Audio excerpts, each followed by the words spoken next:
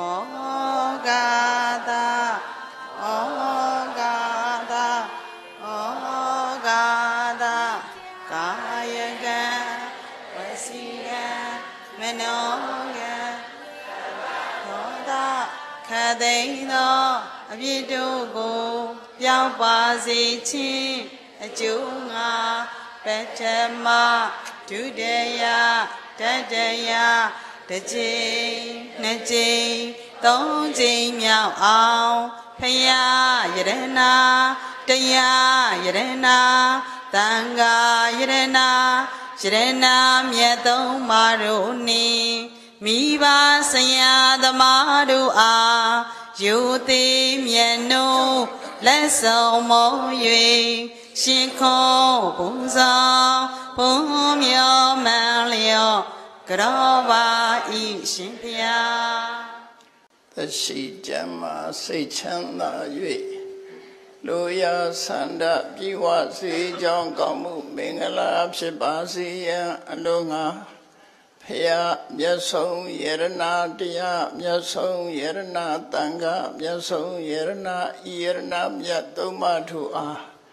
ရှုသိမြတ်နိုးလက်စုံမိုး၍ရှိခိုးပူဇော်ဖူးမြော်မှန်လျောကြောချသောတက္ကိစ္စကာရဝပနာမကုသိုလ်စေရနာဖြာဖြာတို့ကြောင့်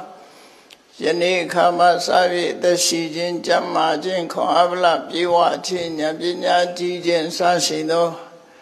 ကောင်းကျိုးချမ်းသာမင်္ဂလာပေါင်းတို့နှင့်ပြည့်စုံကြပြီလင်နိဗ္ဗာန်ရောက်ကြောင်းသူတော်ကောင်းတို့၏ကျင့်တရားကိုကျင့်ကြံကြိုးကိုအားထုတ်နိုင်ကြကုန်သည်ဖြစ်၍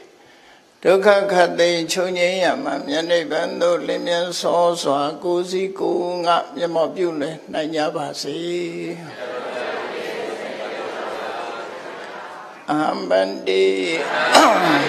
တိတရဏီနသအထင်္ဂသမနာကတံဥပောတထသီလံအမံယာသာမိအနုဂ ဟံကတဝါသီလံဒေထေဗန္တိဒုတိယံပိအဟံဗန္တိဣတရဏီနသဟအထင်္ဂသမနာကတံဥပောတထသီလံအမံယာသာမိအ နုကံကတဝါအထင်္ဂသမနာကတံဥပောတထသီလံအမံယာသာမိအနုကံကတဝါသီလံဒီထဧဗန္တိ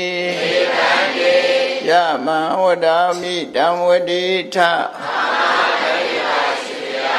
မောတတဗကဝေတောအရဟတောသမ္မာသမ္ဗုဒ္ဓတ္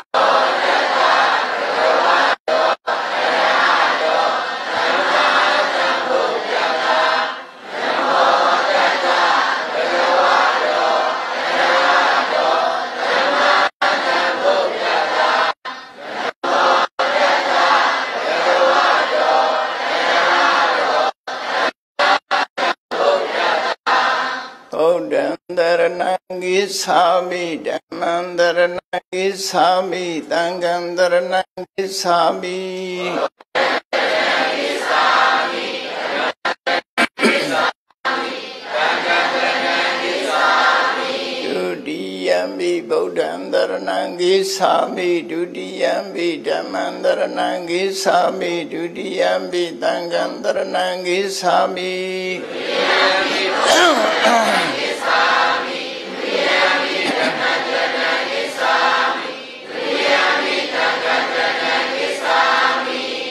တယံပိဗုဒ္ဓံတရဏံဂိသာမိတတိယံပိဓမ္မံတရဏံဂိသာမိတတိယံပိသံဃံတရဏံဂိသာမိ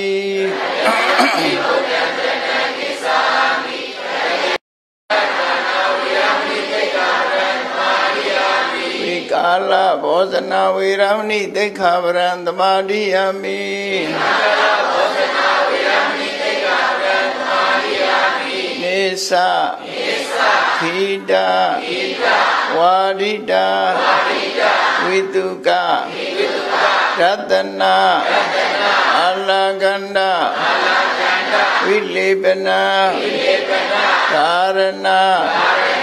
မန္တနာဝိဘုဒနာဌာနဝေရမဏိသိက္ခာပရံသမာဓိယာမိ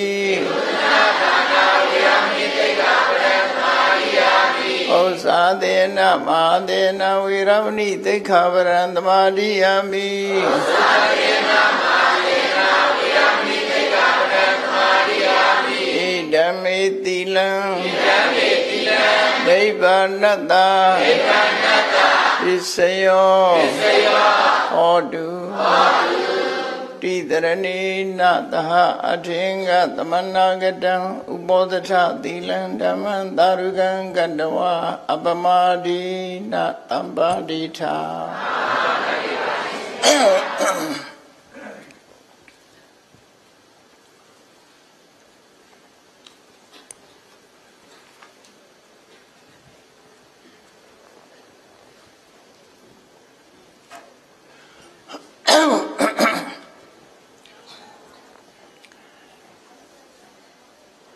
သာသနာတော်နှစ်2562နှစ်ကောဇာတက္ကရာ1380ပြည့်နှစ်ဒုတိယဝါဆိုလဆန်းရှင်းရက်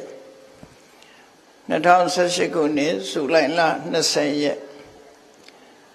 ရန်ကုန်တိုင်းဒေသကြီးမရန်ကုန်မြို့နယ်သာသနာရေးနဲ့ယဉ်ကျေးမှုဝန်ကြီးဌာနသာသနာတော်ထွန်းကားပြန်ပွားရေးဦးစီးဌာနသဗုတိရိဗိမာန်တော်အတွင်ဆင်ကျင်းပပြုလုပ်အပ်သည် သာသနာပူဇာမြတ်မင်္ဂလာတရားအလှတော်အထူးထမသဖြင့်ခန္ဓာ၌ခြေဆုရှင်ဦးဝင်းနိုင်သုံးနှစ်ပြည့်အာရည်စု၍စနီးတိဟတုရမသိင်္ဂီတော်ဆန်းဆန်းနှင့်သာသမီများဖြစ်ကြသောမချမ်းစုနိုင်မဖူးဖူးမချောချောဝင်းအင်ဆန် diamond and fine jewelry မိသားစုတို့ဤအဗဒဒါနဓမ္မဒါနအဖြစ်ဖြင့်ဟောကြားအပ်သောဥစ္စာစီးပွားနှင့်ကိုချင်းတရားအကြောင်းတရားဒေသနာတော်ဒီကနေ့ညဓမ္မသဘင်ခန္ဓာကိုရွှေဘုန်းတော်သခင်ရှင်တော်မြတ်ဖရာ၏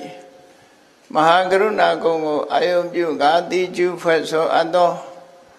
ဝန္ဒနာပနာမအာတိတဂါထာကိုရွတ်ဆိုပူဇော်ခြင်းဖြင့်စတင်ကြရအောင်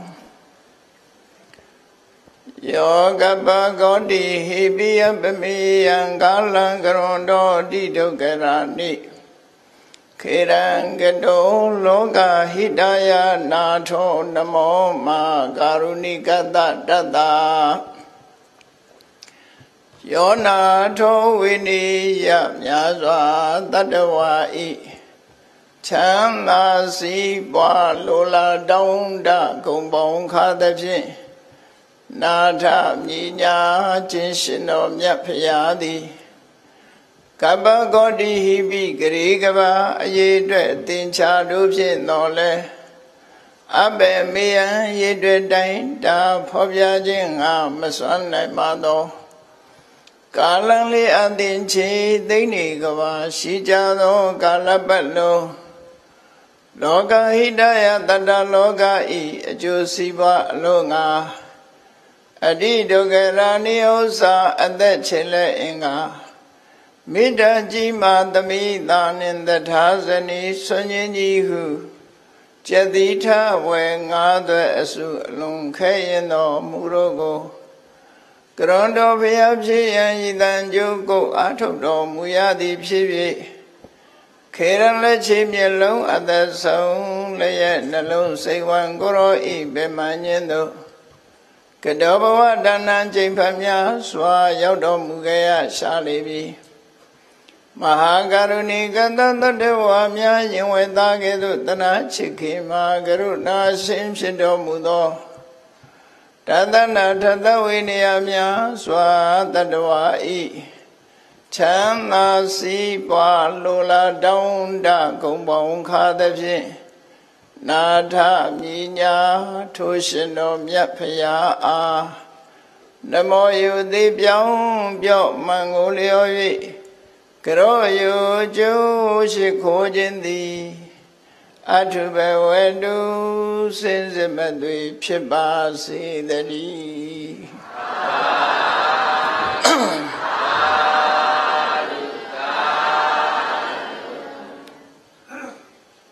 ဥစ္စာစီးပွားနှင့်ကိုချင်းတရားမြတ်ဗုဒ္ဓရဲ့အဆုံးအမမှာဘုရားဘာသာဝိနုအတွက်အခြေခံအကြဆုံးဆုံးမက ဥစ္စာစီးပွားရှာဝေစုဆောင်တဲ့အသိဉာဏ်ရှိရမယ်ကိုချင်းတရားနဲ့ပတ်သက်တဲ့အသိဉာဏ်ရှိရမယ်ဒီနှစ်ခုဟာဘုရားဘာသာဝင်သူတော်စင်တို့အတွက်အခြေခံအကြဆုံးအချက်နှစ်ချက်ပဲဖြစ်တယ်ဒီအခြေခံအကြဆုံးအချက်နှစ်ချက်ကိုမြတ်စွာဘုရားအင်္ဂုတ္တရနိကေအန္တသုတ်တံဆိုတဲ့ဒီတုတ်မှာဟောကြား ဆုံးမထားတာပဲဖြစ်တယ်ပေါ့မြတ်စွာဘုရားရဲ့ဆုံးမချက်ကိုကြည့်မယ်ဆိုရင်လောကမှာရှိတဲ့လူသားတွေကိုသုံးပုံပုံပြီးတော့ရသော်ဘုရားရှင်းပြတယ်ဒီကနေ့ခေတ်လူရည်တန်ပေါင်း9000ရှိတဲ့လူတွေကိုသုံးပိုင်းပိုင်းကြည့်လိုက်တစ်ပိုင်းက စီးပွားရှာရတဲ့အသိပညာလည်းမရှိဘူး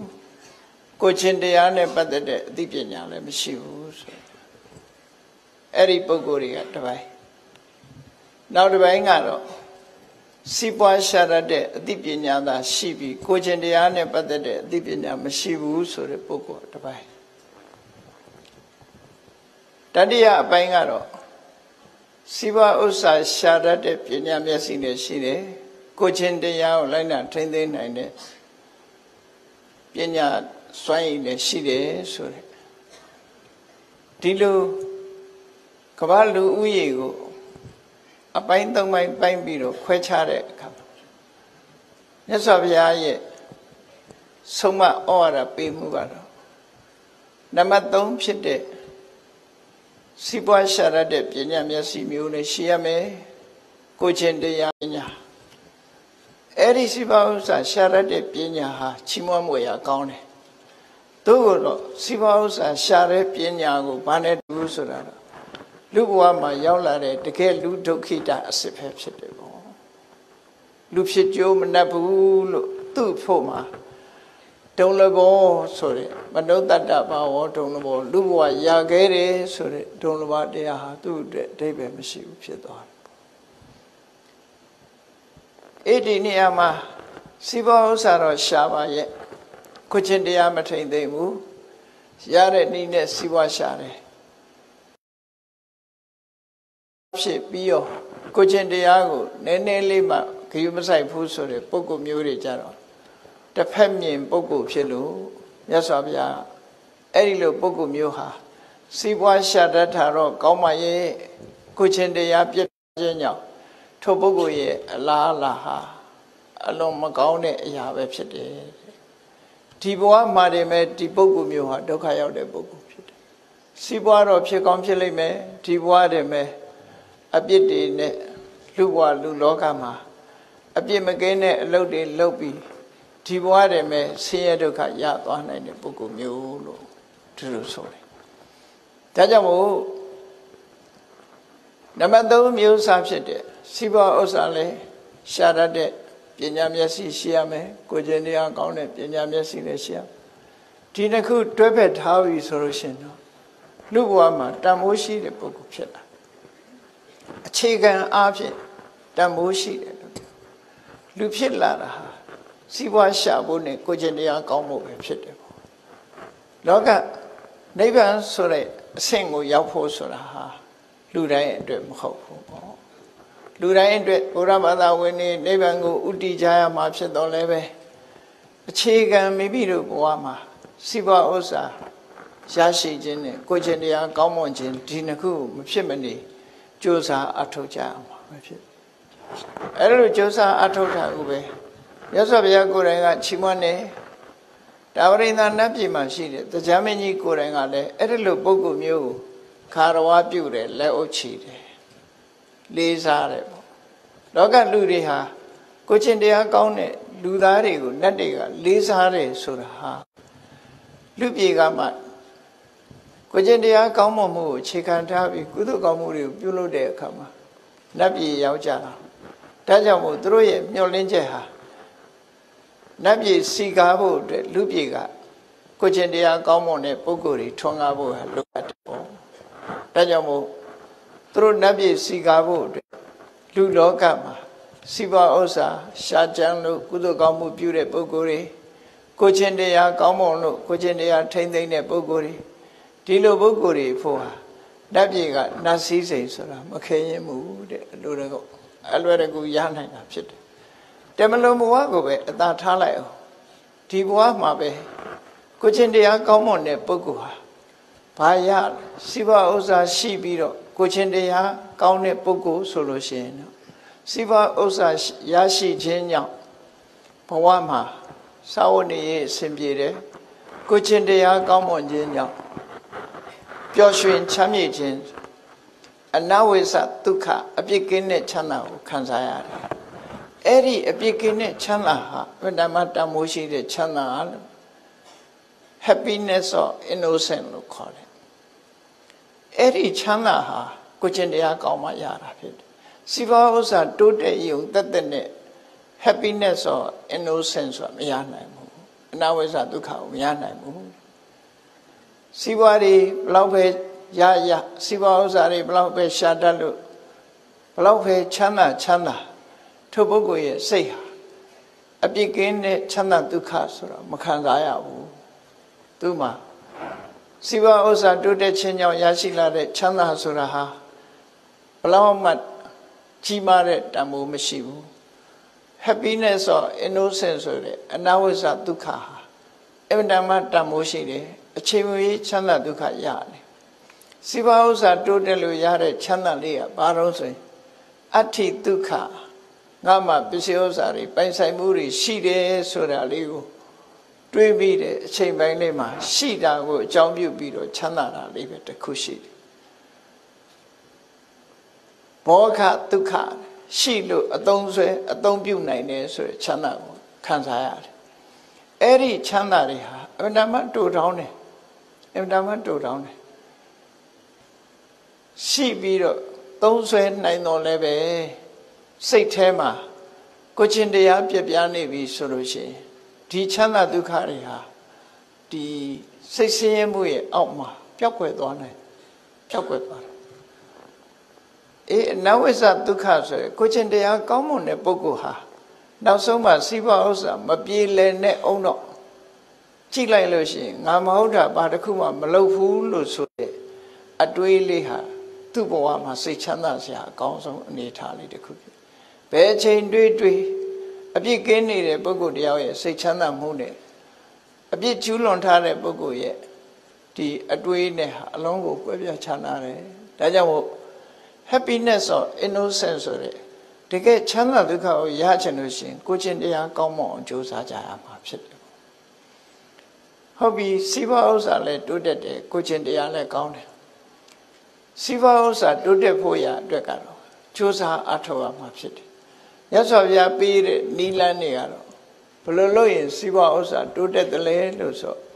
ရသော်ဗျာကဟောထားတာကတော့စီးပွားဥစ္စာတိုးတက်ဖို့ရအတွက်အချက်၄ချက်နဲ့ပြည့်စုံမှုအချင်းချုပ်ခေါ်ထားမြတ်စွာဘုရားဒီအချင်းဟာအကျက်ချက်ကြည့်လိုက်မယ်ဆိုရင်အလုံးကိုပြည့်စုံတဲ့ဒီလမ်းညွှန်ချက်ကြီးတစ်ခုရရှိမှာဖြစ်တယ်နံပါတ်1ကဘာလို့ဆိုရင် စိဝဥစ္စာတိုးတက်ခြင်းကြိုးစားလို့ပြောတာပြည့်ရည်နေုံနဲ့တော့ဘယ်နည်းနဲ့မှစိဝဥစ္စာမတိုးတက်နိုင်ဘူးကံပေးလို့တထေးအိမ်မှာလူဖြစ်လို့ရလာရင်လည်းပဲတစားတစားကုန်းသွားမှသာရှိတယ်ကိုကိုယ်တိုင်ကြိုးစားလို့ရတဲ့စိဘဥစ္စာမဟုတ်လို့ဒီမိမိလှုပ်ဆောင်မှုကြောင့်တိုးတက်လာမှာမဟုတ်ဘူးဒါကြောင့်မို့မြတ်စွာဘုရားက ဥဋ္ဌာဏတမရာစိဘဥစ္စာတိုးတက်ခြင်းလို့ရှိရင်ကြိုးစားဖို့လိုအပ်တယ်အဲ့တော့ကြိုးစားဆိုတာဝီရိယကိုပြောတာပဲအဲ့ဒီမှာဝီရိယလို့ဆိုတဲ့နေရာမှာဝိရိယတစ်ခုတည်းနဲ့ရလာလို့ဆိုဥဋ္ဌာဏတမ္မရာကိုမြတ်စွာဘုရားရှင်းတဲ့အခါမှာဘလို့ရှင်းတော့ဆိုတက်ခေါ်မစ္စည်းပါဥစ္စာရှာလို့ရှိရင်လုပ်ငန်းကျွမ်းကျင်မှုရှိရမယ်အယောင်းဝယ်နဲ့လုပ်ရင်အယောင်းဝယ်ပညာတတ်ရမယ်ကျွမ်းကျင်ရမယ် အတွေ့အကြုံတွေရှိရမယ်လို့ဒီလိုဆိုလို့အဲ့တော့စ조사ရင်စ조사တိုင်းရလားဆိုမရဘူးစ조사ဆိုတဲ့ထဲမှာမြတ်စွာဘုရားဓက္ခလိမ္မာကျွမ်းကျင်မှုရှိရမယ်အနလတ္တအခက်ခဲဆိုတာရှိမှာပဲစ조사တဲ့အခါမှာဇွဲကောင်းမှုလိုအပ်တယ်ဥပါယဝိမန္တာဒီပညာလိုအပ်တယ်ဟောလွန်ခဲ့တဲ့နှစ်ပေါင်း2600ကဟောထားတာနော် ော် ဒီကနေ့ခေတ်မှာပေါ်လာတဲ့စကားတွေမဟုတ်ဘူးဥပါယဝိမန္တာဆိုတာဤပညာပဲဥပါယဆိုတာနီလဝိမန္တာဆိုတာစူးစမ်းဆင်ញင်နိုင်တဲ့စွမ်းရည်တတ္တိဘယ်လိုလုပ်ရင်စီးပွားဥစ္စာတိုးတက်နိုင်တယ်ဆိုတဲ့ဤပညာအလံကတုံကိုယ်တိုင်လဲလှုပ်တတ်တယ်အလံတန်ဝိတ္တတုံစီမံခန့်ခွဲတတ်တယ်ဆိုဟောကုံသွားရခဏပြောနေတဲ့ management တို့ဘာတော့အကုန်ပါတယ်ဒီချင်းမှာ ဥဋ္ဌာဏတမရာဆိုချင်းမှာအကုန်ပါတယ်လုပ်ငန်းကျွမ်းကျင်မှုဆွဲကောင်းမှုဤပညာရရှိမှုကိုယ်ကိုယ်တိုင်လှုပ်တတ်ကိုင်တတ်မှုသူသူများကိုစီမံခန့်ခွဲထားမှုဆိုတာတွေဟာမြတ်စွာဘုရားလွန်ခဲ့တဲ့နှစ်ပေါင်း2600ခရေကဟောဒီတရားတွေကိုလူလောကမှာဟောကြားခဲ့တာပဲဖြစ်တယ်။အေးမြတ်စွာဘုရားလက်ထက်ကလည်းစီးပွားချမ်းသာနေတဲ့ပုဂ္ဂိုလ်တွေဟာတာမန်အားဖြင့်တော့ဟော ချမ်းသာကြွယ်ဝတဲ့ပုဂ္ဂိုလ်တွေဇောတိကာတို့စတိလာတို့တကယ်ကိုဒီပုဂ္ဂိုလ်ကြီးတွေဟာကံပေးလို့ချမ်းသာနေတဲ့လောက်ပဲလူတွေဟာသိကြတယ်အနာရဝိနုဝိသခါတို့ဆိုတာစီးပွားလုံးတက်လို့ချမ်းသာတယ်လို့ဒီလိုပြောရမှာတော့ဝိသခါရဲ့စီးပွားဟာဘာစီးပွားတော့လို့မေးမယ်ဆိုလို့ရှိရင်စိုက်ပျိုးမွေးမြူလို့ပြောလို့ရတယ်အဲ့တော့မွေးမြူဆိုတာသောတာပန်ဆိုတော့ဟောကြက်ဝက်မွေးတာတော့မဟုတ်ဘူးနွားမွေးတာ ဝိတခါရဲ့မိဘကဝိတခါကိုထောင်းရီအနေနဲ့ပေးလိုက်တယ်သူ့သမီးအတွက်အိမ်တော်ရသားပြုတဲ့အခါမှာ dowry system ဆိုတာအိန္ဒိယနိုင်ငံမှာအမျိုးသမီးဘက်ကပေးတဲ့ပစ္စည်းနွားကောင်ရည်တသိန်းစဉ်းစားကြည့်ပေါ့နော်နွားကောင်ရည်တသိန်းတသိန်းမကဘူးနွားတွေကခြံခုံပြီးတော့လိုက်ပါသွားကြတယ် အဲ့တော့ဝိသခာရဲ့စီးပွားဟာဘာစီးပွားတော့လို့မေးလို့ရှိရင်စိုက်ပျိုးရေးလုပ်တယ်မွေးမြူရေးလုပ်တယ်မွေးမြူရေးကဘာမွေးမြူတာတော့ဆိုနှိုးစားနွားမတွေမွေးတယ်သူဟာသောတာပန်ပဲအနာရဝိတတိရဲ့လုပ်ငန်းကဘာတော့ဆိုရင်ကုန်တယ်လုပ်ငန်းအယောင်းဝယ်လုပ်တယ်ဟောမကြာခဏသူကတာဝတိကနေပြီးရာဇဂျူသွားပြီးတော့ကိုရောင်းကုန်ဝယ်လုပ်တယ်ဒါကြောင့်မို့လို့သူ့ရဲ့အိမ်တော်ဘက်ကရာဇဂျူမြို့သူပဲ ဟောအနာရဝိတတိကြီးရဲ့အိမ်တော်ဘက်ကရာဇဂျူမြို့ဟာတတိရဲ့ဒီရာဇဂျိုတထေးရဲ့နှမပဲ။ဟောဒါမို့ရာဇဂျိုတထေးနဲ့အနာရဘိန်တထေးကြီးတို့ဟာအပြန်အလှန်ရောက်ဖတော်ဆကြတယ်လို့သူတို့ဆိုတယ်နော်။အဲ့တော့သူတို့စီးပွားရှာတဲ့ပုံစံတွေဟာကိုချင်းတရားပြည့်ရှာတဲ့စီးပွားတွေဖြစ်လို့မြတ်စွာဘုရားစာပေမှာဟောထားတယ်ဓမ္မိကေဟိ တရားနိလန်အတိုင်းလုပ်ကြတယ်ဓမ္မလတ္တိဟိကိုချင်းတရားမပြည့်ရရှိတဲ့စီးပွားသေထာဝခိတ်တေဟိဘာဟာဗလပရိစိတေဟိကိုလယုံအားနဲ့စီးပွားရှာသေထာဝခိတ်တေဟိချွေးထွက်အောင်လုပ်လို့ကြတယ်လို့ဒီလိုပဲပြောနော်အဲ့ဒါလို့ကိုလိုအားနဲ့ကိုစူးစမ်းအထုတ်လို့ရတယ်ဆိုတဲ့အထိပ္ပယ်ကိုပြောတာပဲအဲ့ဒါလို့စီးပွားဥစ္စာတွေ ရရှိပြီးတော့ချမ်းသာကြွယ်ဝပြီးသာသနာတော်ကြီးကိုထောက်ပံ့လှူဒန်းနိုင်ကြတာဖြစ်တယ်ပေါ့ဒါလည်းပဲတတိထားเสียအကောင်းတစ်ခုပေါ့နော်အဲ့တော့စီးပွားရှာတာကိုပဲဒီကနေ့မှာတချို့ကစီးပွားမရှာရဘူးလောဘကြီးတယ်လို့ဒီလိုပြောနေကြတာလေဒါမှန်ကန်မှုမရှိဘူးပေါ့စီးပွားဥစ္စာရှာတဲ့အခါမှာရလာတဲ့စီးပွားဥစ္စာကိုမြတ်စွာဘုရားကနီလန်ငါးသွဲ့ပေးထားတယ် ရထားတဲ့ရှာထားတဲ့စီးပွားဥစ္စာဖြင့်အတ္တနံဒုခေတိပိနေတိမိမိကိုယ်တိုင်ချမ်းသာအောင်သုံးပြုတယ်မာတာပိတရောဒုခေတိပိနေတိနှစ်ဖက်မိဘတွေကိုချမ်းသာအောင်ထားတယ်ဗုဒ္ဓဓာရဓာတကမပောရိတေကိုမိသားစုအလုသမားအိမ်မှာခိုင်းစေတဲ့ပုဂ္ဂိုလ်အလုသမားတွေချမ်းသာအောင်ထားတယ် မိတ္တမေစေဒုခေတိပိနေတိမိတ်ဆွေသင်္ကားတွေကိုထောက်ပံ့တယ်ပြီးတဲ့အခါကျတော့မှ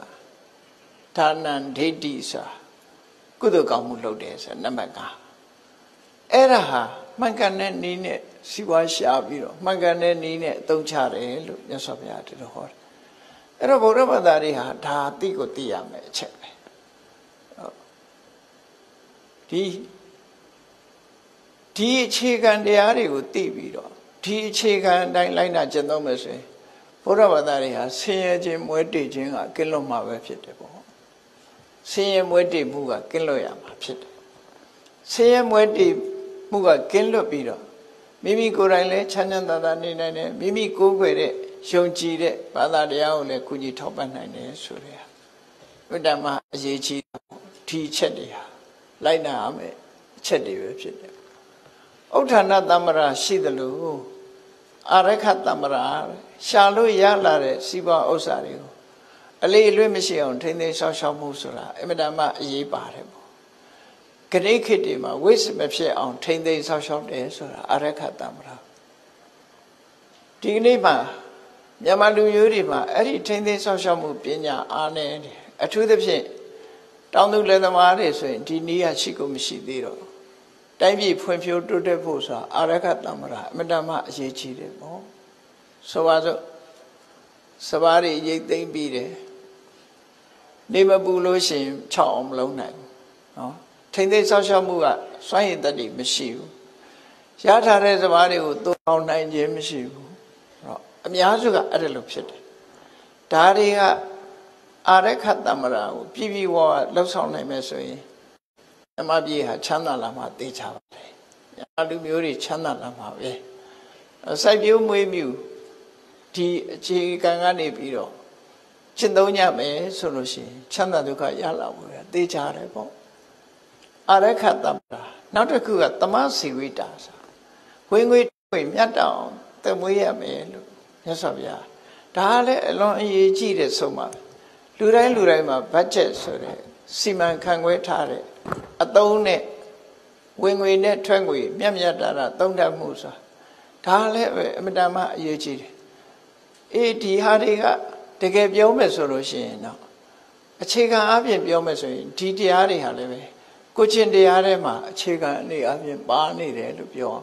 အသိပညာတတ်ပညာအနေနဲ့ပါဝင်နေတယ်မြတ်စွာဘုရားကမိသားစုတူမှာ ဧကိဏဘောကံပုံစေးရမင်းရရှိထားတဲ့ပစ္စည်းဥစ္စာတွေကဘုံကိုအသုံးပြုပါတဲ့နှစ်ဘုံကိုတော့ investment အနေနဲ့အသုံးပြုပါစရုပ်ထေသနိဒပိယ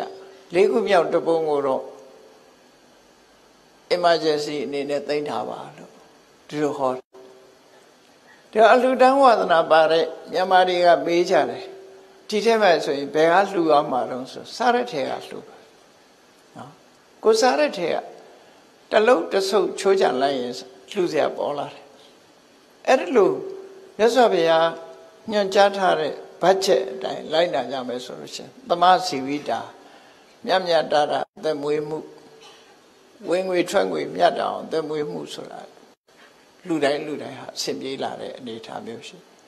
အဲ့ဒါကိုချင်းတရားကောင်းဖို့ရအတွက်ကြတော့ကလျာဏမိတ်တတာမိကောင်းဆွေကောင်းအကြံကောင်းဉာဏ်ကောင်းကိုချင်းတရားကောင်းတဲ့ပုဂ္ဂိုလ်တွေနဲ့ဒီပေါင်းသင်းဆက်ဆံမှုဆိုတာဒါကိုချင်းတရားအတွက်ကိုပြောတာနော်အဲ့တော့စီးပွားဥစ္စာတိုးတက်ဖို့ရာကဥဋ္ဌာဏတမရာထထကြွကြွလုံလဝိရိယပြုမယ်အာရခတမရာ အလေးတွေမရှိအောင်ထိမ့်သိမ်းဆောက်ရှောက်မယ်ကိုရထားတဲ့ပစ္စည်းရှားသမျှပစ္စည်းအလေးလွဲမရှိအောင်တမစီဝိတာအချိုးညီညီမြတ်မြတ်တာသုံးဆွဲမယ်ကိုချင်းတရားအတွက်ကလျာဏမိတ်တတာမိကောင်းဆွေကောင်းရှိမယ်ဆိုလို့ရှိရင်ဒါဟာပြည့်ပြည့်စုံတဲ့လူဘဝအခြေခံအပြင်လုံလောက်သွားတယ်လို့သူတို့ပြောအောင်အဲ့ဒီအခြေခံလုံလောက်မှုဟာအမြဲတမ်းအရေးကြီးပါတယ်အဲ့တော့ဗုဒ္ဓဘာသာဝင်ဖြစ်လာလို့ရှိရင်မလွဲမသွေ ဒီအခြေခံတွေကိုလိုက်နာဖို့လိုအပ်တယ်ပေါ့နော်တရားမင်းကြီးကကာရဝါပြုတယ်ဆိုတာရေကဟတ္ထာပုံညကရာတိလဝန္တောဥပတိကဥပဒကဓမ္မေနဒါရံဘောတင်တိတေနမတမိမန္တလိပြေကိုလှဲ့ပြီးတော့လက်အုပ်ချတာဘသူတွေကိုရှိခိုးတာတော့ဘသူတွေကိုခါရဝပြုတာတော့လေးစားသမှုပြဟောကြားတဲ့အ တ္တိတခြားဘာသာတွေမှာပြောတဲ့အတ္တိကိုချင်းတရားဆိုတာရှိကြတယ်အဲ့လိုရှိတဲ့အခါမှာဘုရားဘာသာဝင်တွေသဘောပေါက်နားလည်ဖို့ရ Buddhist ethic ကဘာကိုအခြေခံတယ်လဲတခြားဘာသာဝင်တွေကိုချင်းတရားဆိုတာဘယ်ပေါ်မှာအခြေခံတယ်လဲဆိုတာသဘောပေါက်ကြပေါ့ပြောတာခေါ်ကြိုက်တယ်မကြိုက်ဘူးအဲ့ဒါနဲ့သူတို့ရဲ့ ethic ကိုထိန်းတာ ဘုရားဘာသာဝင်တွေကြတော့မြတ်စွာဘုရားကအတ္တိရဲ့အခြေခံအကြောင်းကိုနှစ်ခုပေးထားတယ်လို့စာပေကျမ်းကမှာလေ့လာကြည့်မယ်ဆိုရင်သိရှိနိုင်တယ်ပေါ့တခုကဘာလဲလို့ဆိုရင်ကိုချင်းစာတရားတော့ဗုဒ္ဓဘာသာရဲ့အနေနဲ့ကိုချင်းစာတရားဟာအရာရာမှာထားမှာဖြစ်တယ်ကိုချင်းစာတရားဒီကနေ့မြန်မာလူမျိုးတွေဟာကိုချင်းစာတရားအပြည့်အဝရှိကြရဲ့လား တန်းစီတာပဲကြည်ကိုရှိရရောက်ရင်ပြီးရောဘသူကိုရှိကအရင်ရောက်ရောက်ကိုကကြော်တက်မှာနော်ကိုချင်းစာတရားငါတဲ့အရင်ရောက်နေတဲ့လူတွေနောက်ကငါတန်းစီမယ်လို့သိပြီးမရှိဘူးအဲ့ဒီမှာကိုချင်းစာတရားပြက်သွားပြီဒါလည်းကိုချင်းစာတရားပြက်မှုလို့ခေါ်အောင်ကာရက်တယ်ဆိုလို့ရှိရင်အေးမလို့မကင်းတဲ့လမ်းပေါ်မှာရပ်ထားလို့ရှိရင်ကျန်တဲ့လူတွေသွားရေးလာရေးဒုက္ခဖြစ်လိမ့်ဟော ကားကိုမရပ်တဲ့နေရာလဲရပ်တယ်ရှေ့ကနေပိတ်ရပ်တယ်ဆိုတာဒါကိုချင်းစရာတရားကင်မဲ့ရရောက်တယ်အရာရာမှာကိုတစ်ဖက်သားကိုစာနာတဲ့စိတ်နဲ့ပဲလောက်ကင်သွားမယ်ဆိုလို့ရှိရင်ပြဿနာမရှိနိုင်နော်လူရဲ့အတိုင်းဝိုင်းထဲမှာပြဿနာမရှိဘူးအဲ့တော့ဘုန်းကြီးတို့တွေဘုရားဘာသာအတိုင်းဝိုင်းထဲမှာလူတွေဟာကိုချင်းစာတရားအားနေနေတယ်လို့ဒါကြောင့်မို့ဒါကိုဖြည့်ဆည်းဖို့လိုအပ်တယ် ကိုချင်းစာတရားအားနေနောက်တစ်ခုအမိုက်ပြစ်တဲ့နေရာမှာလည်းကိုချင်းစာတရားအားနေတခြားကိုမတွေ့ပါဘူးဘုန်းကြီးတို့ကြောင်းမယ်ဟိုတပတ်လောက်ကတန်ရှင်းလှုပ်ချစ်တယ်အဲ့တော့ကြောင်းလာတဲ့လူတွေဆိုတာတရားနာကြတရားနာလာကြတယ်ဓမ္မယုံကြီးပေါ်မှာဓမ္မယုံကိုတန်ရှင်းလို့တော့ဗာတွေ့တော့ဆိုကော်စောတွေအောက်မှာတစ်ရှူးတွေထိုးထားခဲ့တယ်နော်တစ် ရှူးတွေထိုးထားတယ်ချိုးချင်းကုန်နေညက်ထားခဲ့တယ်ပြီးတော့ကွာလော်အခွန်နေဟောဒါတကယ်ပြောပြတာနော်အဲ့ဒါလဲအော်ငါအမိုက်ဒီလိုပြစ်ခဲ့လို့ရှိရင်ဒီတန်ရှင်းသူများတွေလုံနေချာမှာကိုချင်းစာတရားပေါ့ဆိုလိုတာအစစအရာရာအတိတ်ဆိုကိုချင်းစာတရားထားငါဒီအမိုက်ကလေးတစ်မိုက်ပြစ်လိုက်လို့ရှိရင်ဒီနေရာမှာ ဟောအမိုက်ရှုပ်သွားမယ်လူမြင်မကောင်းဖြစ်လိမ့်မယ်ဆိုအတိလေးနဲ့ကိုချင်းစာတရားလေးနဲ့ထားပြီးတော့ကိုချင်းတရားကောင်းမယ်ဆိုရင်အမြဲတမ်းမှတတ်မိုးရှိတယ်အဲ့ဓာဒီဘက်ကအာနေတယ်လို့ပြောရမှာဖြစ်တယ်ပေါ့နော်တစ်ဖက်သားကိုသိပြီးတော့မဆာနာတတ်ဘူးအဲ့တော့မြတ်စွာဘုရားကကိုချင်းစာတရားဆိုတဲ့စကားလုံးကိုမြတ်စွာဘုရားသုံးတဲ့စကားလုံးနဲ့ရှင်းပြောရမယ်ဆိုရင်အတုပနာယိက အတုပနာယိကဆိုတာအတ္တဥပနာယိကကိုယ်နဲ့နှိုင်းကြည့်တာငါကြိုက်သလားငါမှဒီလိုလာလို့ရင်ငါကြိုက်သလားမကြိုက်ဘူးငါမကြိုက်တဲ့အလုပ်ကိုသူများမလုပ်နဲ့ဆိုအဲ့ဒါကိုချင်းစာတရားနော်ကိုမကြိုက်တဲ့အလုပ်မျိုးမလုပ်ကိုကတန်ရှင်းကြိုက်ရင်သူများလည်းတန်ရှင်းတာကြိုက်လိမ့်မယ်အဲ့ဒီလိုကစပြီးတော့အားနေချက်တွေကိုပြုပြင်လိုက်မယ်ဆိုလို့ရှိရင်တော့တကယ်ကို ဘုရားဘာသာတွေဟာဒီကိုချင်းတရားဘက်ကမြတ်မကောင်းမွန်တော့မြတ်စွာဘုရားရဲ့ဆုံးမမှာကိုချင်းတရားနဲ့ဒီကိုချင်းတရားကိုကိုချင်းစာတရားနဲ့ထိန်းတယ်ဝေလူဒွာရိယတုတ်တံဆိုမြတ်စွာဘုရားဟောတာရှိတယ်အဲ့ဒီဝေလူဒွာရိယတုတ်တံမှာမြတ်စွာဘုရားကဘာဟောတော့ဆိုအချင်းချုပ်ပြောရမယ်ဆိုရင်အေးမင်းတို့ တခြားမစင်စားနဲ့ကိုချင်းစာတရားဆိုတာငါဟောမယ်အဲ့ဒီကိုချင်းစာတရားအတိုင်းလိုက်နာကြငါကိုလူတယောက်ကလာပြီးတော့ရှိုက်ပုတ်ညင်းစေတပ်ဖြတ်မယ်ဆိုရင်ငါမကြိုက်ဘူးငါမကြိုက်သည့်အတွက်ကြောင့်သူများကိုလည်းငါမလုပ်ဘူးသူများကိုလည်းပဲဒုက္ခမပေးဘူးငါပစ္စည်းမတရားယူရင်ငါမခံနိုင်ဘူးငါမကြိုက်ဘူးဒါကြောင့်ငါလည်းသူများပစ္စည်းလည်းမယူဘူးဆိုအဲ့ဒီလို ကိုချင်းစာစိတ်နဲ့ကိုမကြိုက်တဲ့အလုပ်တွေမှန်သမျှအကုန်လုံးထိန်းသွားအဲ့ဒါကြောင့်မလို့ Buddhist ethic ရဲ့အခြေခံအကြောင်းကကိုချင်းစာတရားဖះကြိုက်တာမကြိုက်တာနဲ့ခော့ကြိုက်တာမကြိုက်တာနဲ့မပြောဘူးနော်ကိုချင်းစာတရားနဲ့ဒါလူတိုင်းလဲနားလဲလွယ်တယ်ကလေးလေးကစပြီမင်းဒါကြိုက်လားမကြိုက်ဘူးမကြိုက်ရင်သူများမလုံးနဲ့ကိုချင်းစာတရား နော်ကိုကြိုက်တဲ့အလုပ်ပဲကိုကိုမကြိုက်တဲ့ဟာကိုသူများဒုက္ခမပေးနဲ့သူများနဲ့ဖြစ်ပေါ်လာမယ်ဆိုရင်ဒီလိုကိုချင်းစာတရားနဲ့ထိတ်ဟောနောက်တစ်ခုကတော့ဒီတဲ့အဆင့်မြင့်သွားတယ်ဘုဒ္ဓဆရာအသက်မှာနောက်တစ်ခုကဘာလဲထိန်းလို့ဆိုလို့ရှိရင်ကမ္မတက္ကတာတမ္မဒိဋ္ဌိတဲ့ဘာလို့လို့ကောင်းတာလို့လို့ဆိုးတာလို့လို့အကောင်းဆိုးရဲ့ ကောင်းမွေဆိုးမွေကိုငါပဲခံရမှာဖြစ်တယ်ဆိုတဲ့ကမ္မတက္ကတာတမ္မဒိဋ္ဌိအမြင်နဲ့ထိန်းသွားတာဖြစ်တယ်လောကလူဟာလူတိုင်းလူတိုင်းဟာကောင်းစားခြင်းကောင်းစားခြင်းတယ်ချမ်းသာခြင်းတယ်ချမ်းသာခြင်းလို့ရှိရင်ဆင်းရဲဒုက္ခကိုရောက်စေနိုင်တဲ့မကောင်းတဲ့အလုပ်ကိုသူရှောင်မှာပဲဖြစ်တယ်။ကံကံဤအကျိုးကိုဆိုပါကဆင်းရဲသုံးသပ်ခိုင်းတယ်ဒါကြောင့်မို့ ယံကမံကရိတာမိကလျာဏံပကံပါငါလုပ်တဲ့အလုပ်ဟာကောင်းတာပဲဖြစ်ဖြစ်မကောင်းတာပဲဖြစ်ဖြစ်တတ္တကမ္မတထာယတော်ဘောဟိတမိအဲ့ဒီကံရဲ့ဆိုးမွေကောင်းမွေကိုငါပဲခံရမှာဆိုတဲ့အတွေးကိုတွေးပြပါတဲ့အဲ့ဒီလိုတွေးလိုက်လို့ရှင်မကောင်းတာလုပ်ရင်ကိုယ်ပဲမကောင်းတာခံရမယ်ကောင်းတာလုပ်မှကိုယ်ပဲကောင်းကျိုးရမယ်ဆိုတဲ့အတွေးဟာအလုံးကိုအစင်းမြင့်နဲ့ မှန်ကန်တဲ့အမြင်တစ်ခုပဲဖြစ်တယ်ဒါကိုဘုရားဘာသာမှာကမ္မတက္ကတာတမ္မာဒိဋ္ဌိလို့ခေါ်တယ်အဲ့ဒီကမ္မတက္ကတာတမ္မာဒိဋ္ဌိမှလက်ခံယုံကြည်ခြင်းမရှိဘူးဆိုတဲ့ပုဂ္ဂိုလ်ကဘုရားဘာသာမဖြစ်နိုင်ဘူးမြတ်စွာဘုရားကမ္မဝါဒီကရိယာဝါဒီကုသကံအကုသကံဆိုတာကုသကံဆိုတာရှိတယ်အကုသကံဆိုတာရှိတယ်ကံဆိုတာရှိသည့်အတွက်ကြောင့်ကံရဲ့အကျိုးတရားဆိုတာလည်းရှိတယ် အဲ့ဒီကံနဲ့အကျိုးတရားကိုလက်ခံယုံကြည်မှုလက်ခံမှုသိမြင်မှုကမ္မတက္ကတာသမာဓိဋ္ဌိလို့ခေါ်တယ်အဲ့ဒါအခြေခံအကြဆုံးမှန်ကန်တဲ့အမြင်တစ်ခုသမာဓိဋ္ဌိဆိုတာအဲ့ဒါကိုပြောတာသူစရိုက်ထဲမှာပါတဲ့သမာဓိဋ္ဌိဟာကမ္မတက္ကတာသမာဓိဋ္ဌိကိုပြောတာဒုစရိုက်ထဲမှာပါတဲ့မိစ္ဆာဒိဋ္ဌိဆိုတာကံဤအကျိုးကိုညင်းပယ်တဲ့နတ္တိကဒိဋ္ဌိကိုပြောတာ ဟို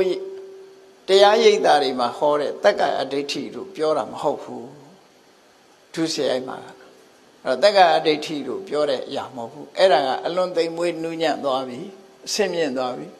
အခြေခံအကြဆုံးကတော့ကံကံဤအကျိုးကိုကံဤအကျိုးကိုညင်းပယ်တဲ့နတ္ထိကဒိဋ္ဌိသည်မနောဒုစရိုက်ထဲမှာပါတဲ့မိစ္ဆာဒိဋ္ဌိတဲ့အဲ့ဒါကိုဆိုလိုတယ်ပေါ့ မနောဒုစရိုက်ထဲမှာပါတဲ့တမ္မာဒိဋ္ဌိဆိုတာကံဤအကျိုးလက်ခံတာအဋ္ဌိကဒိဋ္ဌိလို့အဲ့ဒါဟာဘုရားဘာသာဖြစ်ဖို့အတွက်အခြေခံအကြဆုံးတို့ဆိုလို့အဲ့တော့မြတ်စွာဘုရားကဘာသာတရားတစ်ခုကိုတီထောင်တာမဟုတ်ဘဲနဲ့လောကလူသားတွေရဲ့အကျိုးစီးပွားအတွက်အကောင်းဆုံးကျင့်စဉ်တွေကိုဟောပြောခြင်းပဲဖြစ်တယ်မြတ်စွာဘုရားကတရားနိလန်းအတိုင်းပဲဟောတာ အဲ့တော့တနည်းအားဖြင့်ပြောရင်ဗုဒ္ဓခောရမဗုဒ္ဓဟာဘာသာတရားတစ်ခုတီထောင်သူမဟုတ်ဘူးတီထောင်သူမဟုတ်ဘူးလူတွေကိုမင်္ဂနဲ့လမ်းကြောင်းပေါ်ကိုတင်ပေးခြင်းသာလည်းဖြစ်တယ်ပေါ့ဒါကြောင့်မို့မြတ်စွာဘုရားကပုပ္ဖတုတ်တံမှာဆို ရှင်းရှင်းလေးဟောထားတယ်နာဟံလောကေနဝိဝရမိတဲ့ငါလောကလူသားတွေနဲ့ဘယ်တော့မှမငင်းခုန်ဘူးတဲ့ ဒါပေမဲ့လို့လောကောဝမယဝိဝရတိလောကလူသားတွေကသာငါနဲ့ငင်းခုန်နေတာဟိုသူရှင်းရှင်းလေးပြောတာနဟိဓမ္မဝါဒီကေနစိလောကသမိဝိဝရတိငါဟာတကယ်ကိုအစစ်မှန်တရားကိုဟောတာဖြစ်သောကြောင့်ဘသူနဲ့မှငင်းခုန်တာမဟုတ်ဘူးတဲ့ဓမ္မဝါဒီဖြစ်လို့ဘသူနဲ့မှငင်းခုန်တာမဟုတ်ဘူးတဲ့လောကမှာပညာရှိတွေကရှိတယ်လို့ပြောရင်ငါလည်းရှိတယ်လို့ပဲပြောတာ ပညာရှိတွေကမရှိဘူးဆိုတာငါလည်းမရှိဘူးလို့ပြောတာပဲငါဟောတဲ့တရားကရှင်းရှင်းလေးပဲဆိုတဲ့မြတ်စွာဘုရားရဲ့ပွင့်လင်းတဲ့ဆုံးမတရားတော်ဟာရှိတယ်ပေါ့နော်ဒါပေမဲ့လောကလူသားတွေကမြတ်စွာဘုရားရဲ့အဆုံးအမတရားတော်ဟာဒါလောက်ထူးခြားတဲ့ဒီအခြေခံတရားလေးကိုဟာပညာရှိသူတော်ကောင်းတွေဟောတဲ့အတိုင်းမြတ်စွာဘုရားအတီးပြုတ်ပြီးတော့ဟောပေးတာလားဖြစ်တယ်။ ဒါဖြင့်မြတ်စွာဘုရားပွင့်လို့ထူးခြားတာဘာလို့ဆိုရင်ဝိပဿနာတရားအဲ့ဒါတော့ဘယ်ဘာသာကမှမဟောနိုင်တဲ့တရားပဲ။မြတ်စွာဘုရားကိုယ်တိုင်ကပြိဋိဘံသံဃာနိမှာသုဘတ္တပရပိုက်ကြီးကိုပွင့်ပွင့်လင်းလင်းပြောခဲ့တယ်။သောတာပန်တဂရကအနာဂံဆိုတဲ့ယဟန္တာလို့ဆိုတဲ့ဒီ ထူးခြားတဲ့တရားဓမ္မတွေကိုသိတဲ့အရိယသူတော်စင်ဆိုတာငါသာသနာမှာလွဲလို့တခြားဘယ်မှာမှမရှိဘူးလို့အတိလင်းပြောရတယ်။ဘာကြောင့်မရှိတာတုံးလို့ဆိုလို့ရှိရင်မဂ္ဂင်၈ပါးအကျင့်တရားမရှိလို့တဲ့။မဂ္ဂင်၈ပါးအကျင့်တရားဆိုတာဘာကိုပြောတာတုံးဆိုဝိပဿနာတက္ကနစ်မရှိလို့လို့ဒီလိုဆိုလို့တယ်ပေါ့နော်။ဒါကြောင့်မြတ်စွာဘုရားကဘာသာတရားတွေကိုလေ့လာပြီးငါဟောပြောလာတဲ့ဒီ 52နှစ်တာအတိုင်းတာကာလမြတ်စွာဘုရားကတရားရှာတာ6နှစ်တရားသိပြီဖရာဘွားနဲ့ဖရာအဖြစ်နဲ့တရားလိုက်ဟောတာ45တရားကျင့်တာက6နှစ်နဲ့တရားရှာတာတရားတရားသိပြီးတော့လိုက်ပြန်ဟောပြောတာ45နှစ်ပေါင်းလိုက်တဲ့အခါ52နှစ်အဲ့ဒီ52နှစ်အတွင်းမှာတဲ့ ဝိပဿနာတရားကိုအပြည့်အစုံမပြောမဆိုထားပြီးတစိတ်တသေးတာတစွန်းတစလေးတောင်ဟောနိုင်တဲ့ဘာသာတရားမရှိပါဘူးလို့မြတ်စွာဘုရားလို့ဟောတယ်။အဲ့တော့မြတ်စွာဘုရားပွင့်ခြင်းရဲ့အထီးကတော့ဝိပဿနာတရားပဲ။သို့တော့မြတ်စွာဘုရားပွင့်လာမှုကိုအကြောင်းပြုပြီးတော့လူတွေဟာကိုချင်းတရားကောင်းမွန်လာကြတယ်။ဒါကတော့ညင်လို့မရဘူး။ကိုချင်းတရားကောင်းမွန်တာပို့ပြီးတော့ကိုချင်းတရားကောင်းမွန်တာ စိတ်နေသဘောထားတွေမှန်ကန်လာတယ်စိတ်ထားမှန်ကန်လာတယ်မြတ်စွာဘုရားမမှန်ကန်တဲ့စိတ်ထားတွေမရှိဘူးဥပမာမယ်ဆိုတော့လောကမှာမာယာတဲ့တာထေးရတဲ့မရှိရမယ့်တရားတွေမြတ်စွာဘုရားလူလောကညဉ့်ညွတ်ရေးမှာကောဓာတဲ့ဥပနာဟတဲ့ညဉ့်ညွတ်ရေးပျက်စီးစေနိုင်တဲ့တရားတွေကဘာတွေတုံးဆိုကောဓာထိကနေရှိစိတ်ဆိုးမှန်ဆိုပြုမှုတတ်တဲ့ပုဂ္ဂိုလ်ဒေါသဟာ ညညရေးကိုဖြစ်စီတာဒေါသဥပနာဟ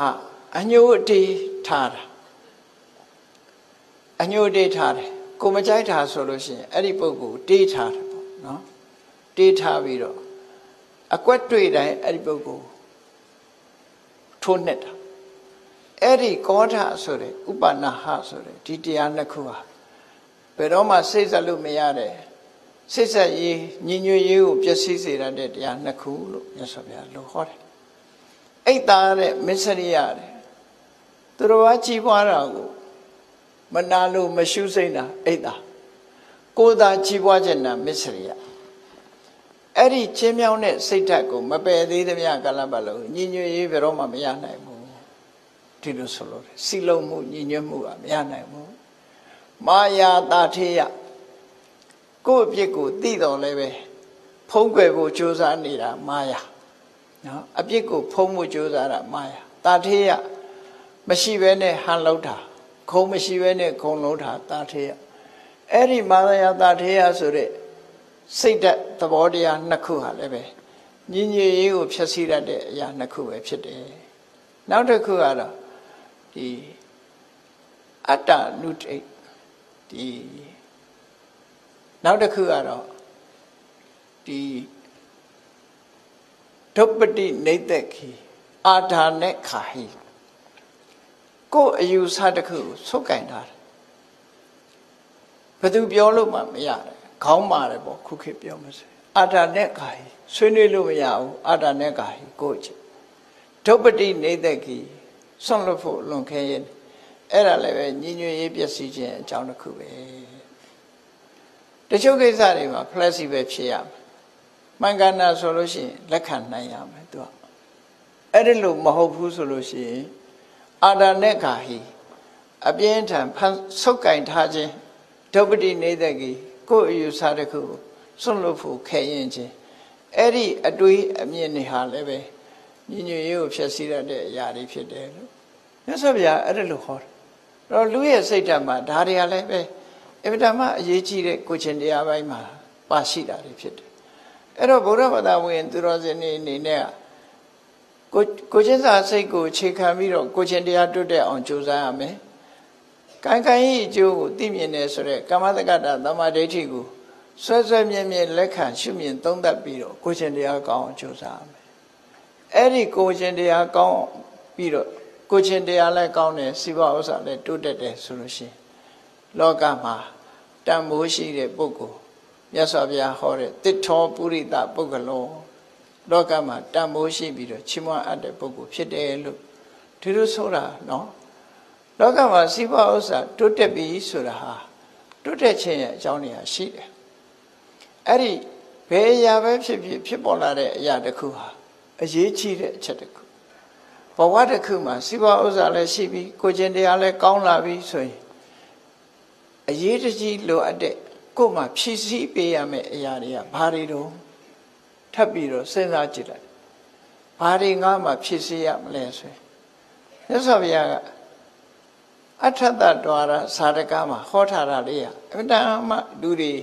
ဟိုမှတ်သားစရာကောင်းတယ်ပေါ့ဘာဟောတော့ဆိုတော့အာရောချမိတ်စိပရမင်းစာလဘံနံပါတ်1 အကောင်းဆုံးလလဘာဖြစ်တယ်ကျမ်းမာမှုဟာလိုအပ်တယ်။အော်စီဘောဥစ္စာလည်းရှိတယ်ကိုကျင်တရားလည်းကောင်းတယ်။အဲ့ဒီမဲ့ဘာလို့သေးတော့ဆိုကျမ်းမာဖို့လိုတယ်။မကျမ်းမာဘူးဆိုလို့ရှိရင်ကျန်တဲ့အရာတွေကဆုံးရှုံးသွားတယ်။မြတ်စွာဘုရားဆိုလို့တဲ့အာရောချံပရမန်လာဘဆိုတာအာရောချပရမလာဘရတဲ့ထဲမှာတော့ကျမ်းမာမှုရတာအကောင်းဆုံးပဲ။ကျမ်းမာပြီဆိုရင်အလုံးလုံးလို့ရတယ်။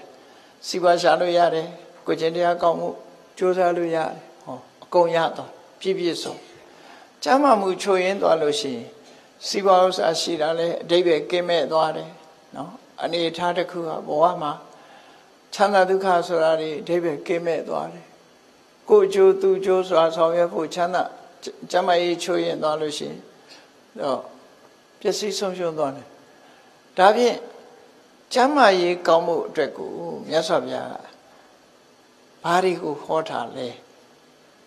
ကျမ်းမာရေးအတွက်ပြောရမယ်ဆိုလို့ရှိရင်အလုံးဗုဒ္ဓဘာသာဝင်တွေသိတယ်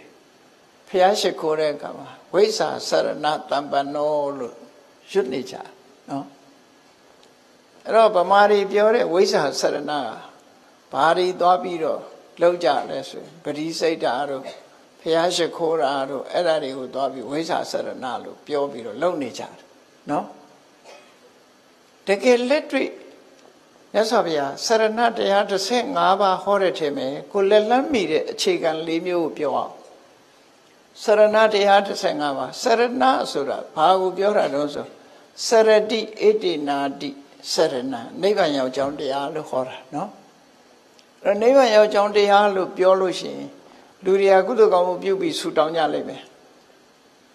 ဣဒံမေပုံညာနိဗ္ဗာန်တပစ္စယောဟောတုဒါတခုပဲနိဗ္ဗာန်ရောက်ကြောင်းတရားနော်သီလဆောက်တည်မယ်ကမ္မထာအထုတ်မယ်နိဗ္ဗာန်ရောက်ကြောင်းတရားလို့မဟုတ်ဘူးလားဟုတ်ပါတယ်ရသော်ဘုရားဟောတာအဲ့ဒါတွေမကဘူးနော်စရဏတရား15ပါးထဲမှာနံပါတ်1ကပါဆိုရင်သီလတဲ့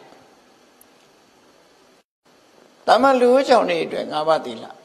ယဟန်တန်ဃာတွေအတွက်ယဟန်တန်ဃာတွေစောင့်ထရမယ်သီလသာသနာ့နယ်ဝင်သီလရှင်တွေအတွက်၈ပါးသီလအဲ့ဒီကိုဆောင်ထိန်တဲ့ကိုချင်းသီလနဲ့နံပါတ်1ပြည့်စုံတာဟာနိဗ္ဗာန်ရောက်ကြောင်းတရားတစ်ခုပဲခုပြောတဲ့ကိုချင်းတရားပဲကိုချင်းတရားရှိရမယ်သီလတမ္ပန္နသီလတမ္ပန္နသီလကိုထိမ့်ဖို့ရအတွက်ဘာသီလဆိုတာကိုနဲ့နှုတ်နှမျိုးပဲထွန်းတာ နှုတ်ကစီမဲ့ကမ်းမဲ့မပြောဖို့ရယ်ကိုကမလုံးတင်တာတွေမလုံးဖို့ရယ်အဲ့ဒီတစ်ခုကိုထိမ့်လိုက်တယ်စိတ်ထိန်းထားတာမပါဘူးတိလမှာစိတ်ထိန်းတာမပါထဲကတောင်းကျမ်းညင်တောင်းကျမ်းနေမယ်အဲ့ဒါကြောင့်မလို့အိန္ဒရိယတံဝရလည်းမြတ်စွာဘုရားမျက်စိကမြင်ပြီးစိတ်ထိန်းနားကကြားတဲ့အတန်ပေါ်မှာစိတ်ထိန်းနော်ဒီ စက္ကုံတရေသောတိန်တရေဒီဓဝရ6ပါးကိုထိမ့်သိမ့်နေဆိုတာစိတ်ကိုထိမ့်တာတတိဆိုတာနဲ့ထိမ့်သိမ့်ဆောက်ရှောက်တယ်လောဘမဖြစ်အောင်ဒေါသမဖြစ်အောင်မဖြစ်တဲ့နာတွေမဖြစ်အောင်ဟောအိန္ဒရိယသံဝရဆိုတာစိတ်ထိမ့်တာအဲ့ဒါဒုတိယစရဏနံပါတ်3ကဘောဇနီမတ္တညုတာတဲ့အစာအာဟာရစားတဲ့အခါမှာပမာဏကိုသိရမယ် စာရစာရကိုပမာဏသိရမယ်ဆိုတာဘယ်လိုပမာဏတော့လောကလူတွေက twin shot စားတာလောက်တည်းတခုအောင်မေးတယ်မြတ်စွာဘုရားအကျိုးနဲ့အပြစ်ကိုဆင်ញင်စဉ်းစားထားရအစာစားခြင်းရဲ့အကျိုးအစာစားစားခြင်းရဲ့ရည်ရွယ်ချက်အစာစားစားခြင်းကြောင့်ဖြစ်ပေါ်လာတဲ့အပြစ်အကျိုးအပြစ်ကိုဆင်ញင်သုံးသပ်ပြီးတော့ကိုနဲ့တဲ့တာမတဲ့တာစပြီးဆင်ញင်သုံးသပ်တာတွေကိုဒါဘောဇနီမတ္တညုတာလို့ခေါ်တယ် အဲ့ဒါနိဗ္ဗာန်ရောက်ကြောင်းတရားလို့ဆိုရင်ယုံမှမဟုတ်ဘူးနော်အစာအာဟာရစားတဲ့အခါမှာကိုယ်နဲ့မသိတာကိုမစားဘူးတင့်တော်တာကိုသာစားတယ်ဒါနိဗ္ဗာန်ရောက်ကြောင်းတရားစရဏ15ပါးထဲမှာဘောဇနိမတ္တညုတာအဲ့ဒါကိုသိတဲ့အသိညာနော်အေးဒီကနေ့မြန်မာနိုင်ငံမှာလူတွေယောဂဖြစ်ကြတာလိုက်ပြီးတော့ချိလိုက်မယ်ဆိုလို့ရှိရင် အစာအာဟာရအများဆုံးဒုက္ခပေးတယ်ဆိုတာသဘောတူကြပါလိမ့်မယ်သဘောတူကြပါလိမ့်မယ်အစာအာဟာရအပေါ်မှာဒီ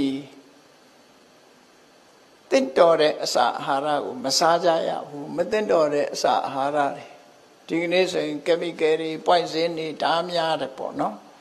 အဲ့ဒါတွေစားခြင်းကြောင့်သူတွေဟာယောဂဝေဒနာတွေလည်းအလွန်များလာကြအဲ့တော့လွန်များလာတဲ့အခါ အစာအာဟာရဘောဇနီမတ္တညုတာဆိုတာအမြဲတမ်းအရေးကြီးတယ်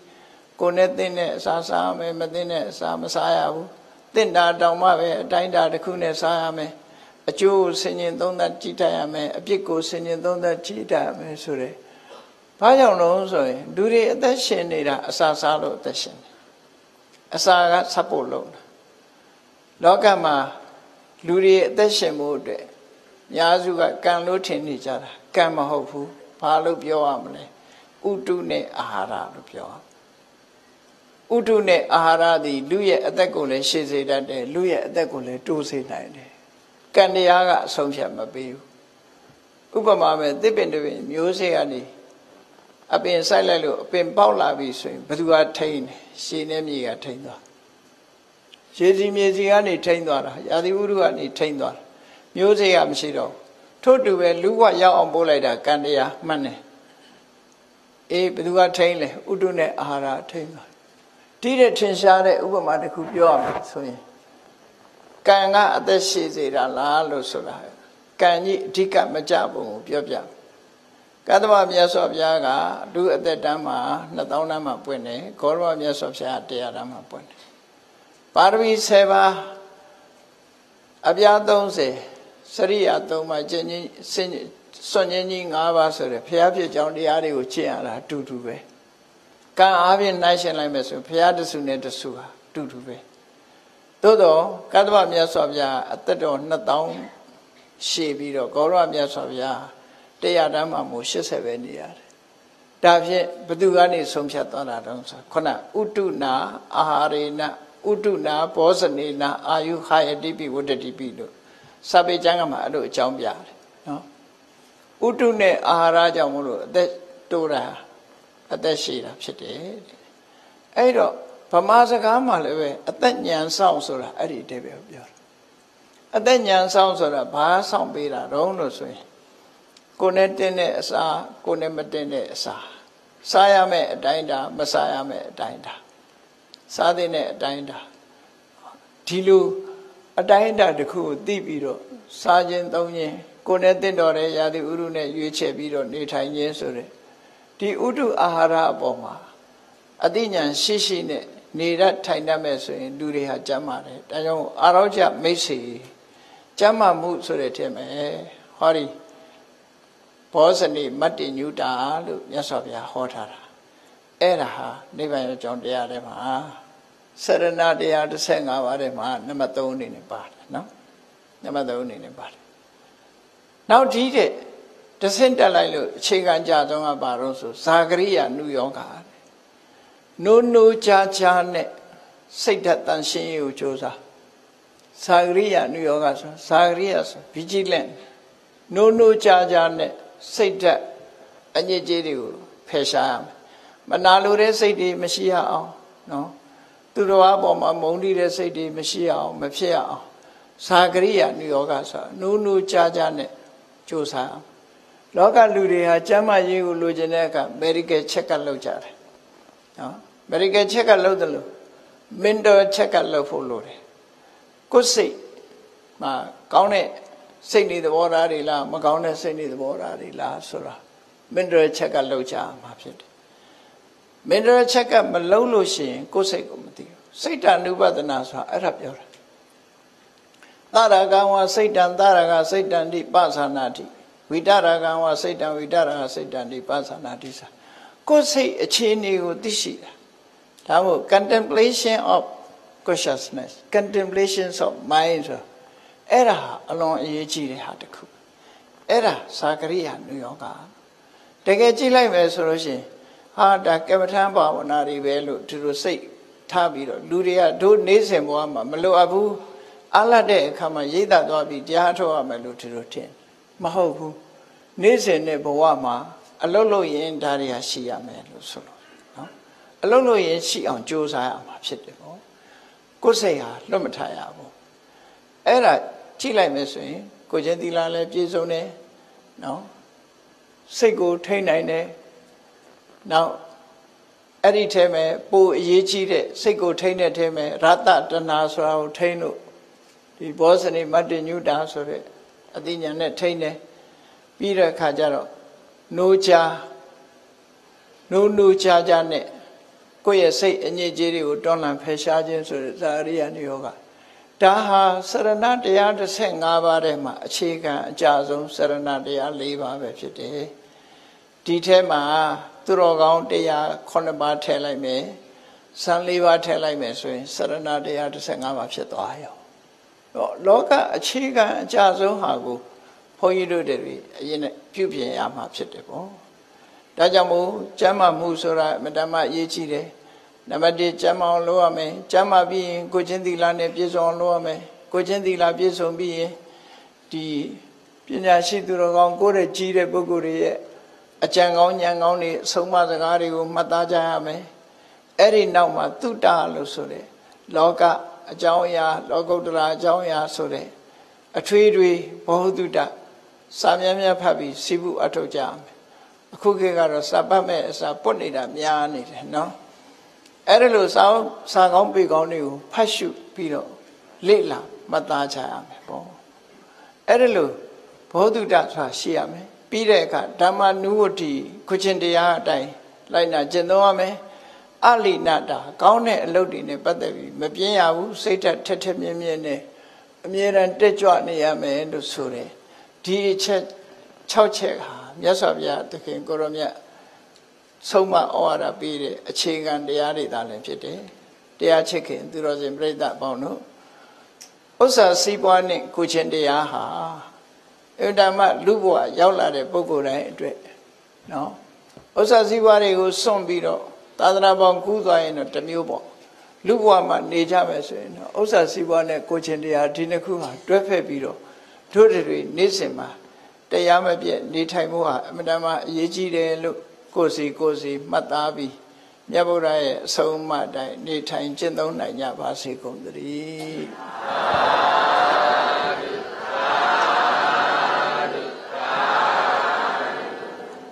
မေတ္တာပို့ရအောင်တတဝါများစွာခေယံကွာချမ်းသာကြပါစေတတဝါများစွာခေယံကွာချမ်းသာကြပါစေမေတ္တာရေချမ်း သုံးငါဖြံငြိမ်းချမ်းကြပါစေငြိမ်းချမ်းကြပါစေမေတ္တာရေချမ်းမေတ္တာရေချမ်းသုံးငါဖြံသုံးငါဖြံငြိမ်းချမ်းကြပါစေငြိမ်းချမ်းကြပါစေ သေသက်ရှိကျမ်းမာသက်ရှိကျမ်းမာစိတ်ချမ်းသာစိတ်ချမ်းသာလူရဆန္ဒပြည့်ပါစေလူရဆန္ဒပြည့်ပါစေသက်ရှိကျမ်းမာသက်ရှိကျမ်းမာစိတ်ချမ်းသာစိတ်ချမ်းသာလူရဆန္ဒပြည့်ပါစေလူရဆန္ဒပြည့်ပါစေဩလန္တဒုက္ခပင်ကစားမေတ္တာဘုံနေဒုသင်္ကမမ နောတရတိတဝေတံဘဝယန္တုဒုက္ခန္တကမေတ္တာဘုံနေဒုသင်္ကမစုပေါင်းပုအမေတ္တတဟုရောင်မြူပဝင်း